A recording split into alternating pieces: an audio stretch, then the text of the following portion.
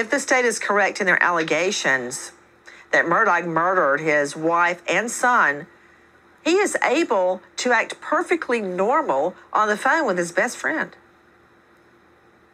Yeah, that's that's hugely impactful evidence for the defense, and something I'm sure they're going to drill home. That, listen, you're saying that a man, by the way, didn't just commit an, an a, a, your everyday type of murder here.